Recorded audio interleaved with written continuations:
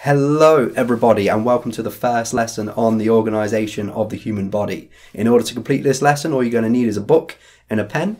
In your book, I'd like you to write down our title, which is Levels of Organisation. And for your starter activity, I'd like to write down these five objects in order of size. I'm going to put five seconds on the clock. If you need more time, pause the video, and when you finish, we'll go through it together.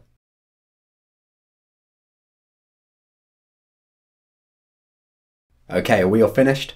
So, putting these things in order of size, starting with the smallest is the brick.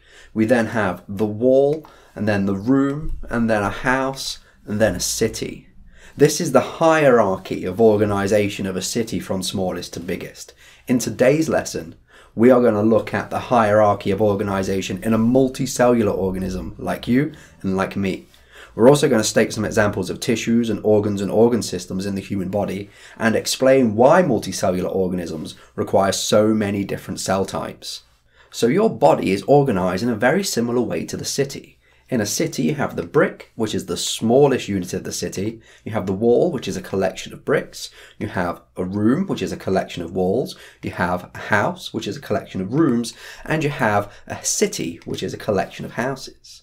The smallest living unit of an organism is the cell.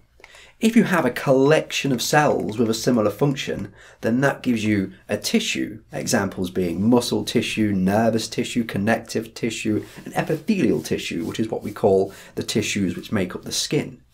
A collection of tissues with a similar function gives us an organ. Examples of organs are bone and skin.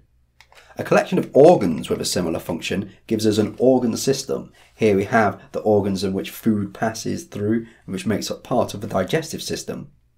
Now, what I'd like you to do is match up these five key words to their definition. And if you need an extra challenge, I'd also like to explain how the organisation of the human body is similar to that of the organisation of a city. I'm going to put five seconds on the clock, and if you need more time, pause the video, and when you finish, we'll go through it together.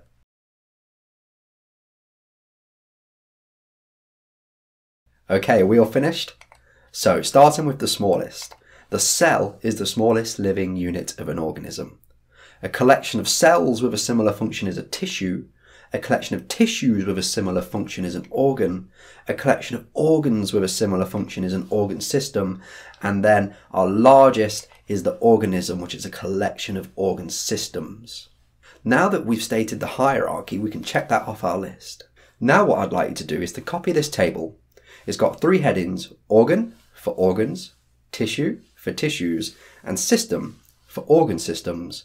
Underneath each one of these headings, I would like you to write down four examples of organs, four examples of tissues, and four examples of organ systems, using the words which were around the table.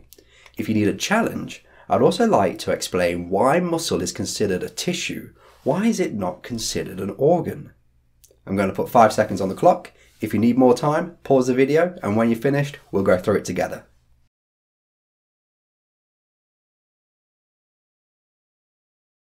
Okay, we all finished? So, starting with the stomach and working our way counterclockwise, we're going to put them into our table. Stomach is an example of an organ, muscle is a tissue, skin is an organ, it's made up of many epithelial tissues. Digestive system, hey, it ends in the word system, must be a system. We have nervous, we have nervous tissue. Circulatory system, the giveaways in the system again.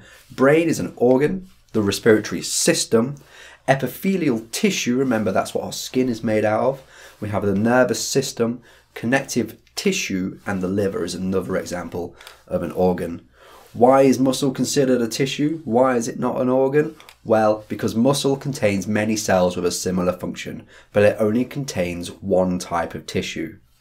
So now we've stated some examples of tissues, organs, and organ systems in the human body, but we still need to explain why we need so many different cell types and why we need so many different tissues and organs. Well, this depends on the situation you are in. Now what I'd like to do is to complete this table. It's got three headings stimulus, which tells you the thing which is going to happen to the body. I want to know how your body would react in this column, and I want to know what organ system or organ systems are responsible for that reaction.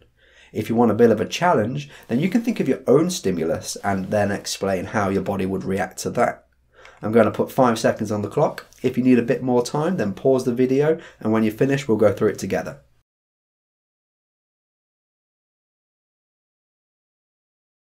Okay, we are finished. So, the light shining in the eye, how's the body going to react, and what organ systems are responsible for that? Well, the pupils are going to get smaller, and you're probably going to look away and shield your eyes. The organ systems responsible for this are the nervous system and the muscular system. If you're feeling hungry, you're probably going to get a rumbling in your belly, and then you're probably going to go and eat some food.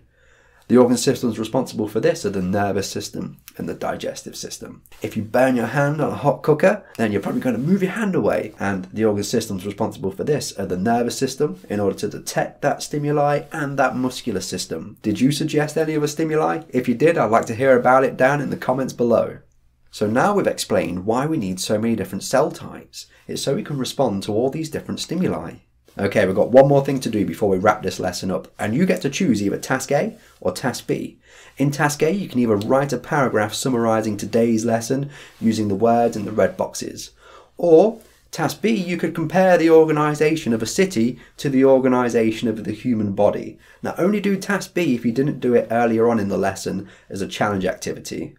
If you're finished and you still need a bit more of a challenge, you can suggest how cells in a multicellular organism communicate with one another and try and explain why this communication is important. I hope you had a great lesson and I'll see you next time.